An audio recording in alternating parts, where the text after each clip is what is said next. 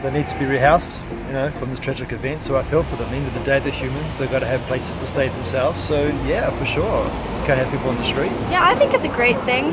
Like, I I do know why some people wouldn't appreciate it because it is quite expensive to live around this, this area. But they lost their houses, and I think they've lost a lot more than we're losing. Like the residents and the local people are losing here. Uh, I think it's a very nice thing to do because these buildings are quite nice, so it'd be a nice thing for them to move into these places. Any of these, any of these flats in Kensington, I mean, I, I'm assuming there's not a shortage. You know, it's better than what they're going through now.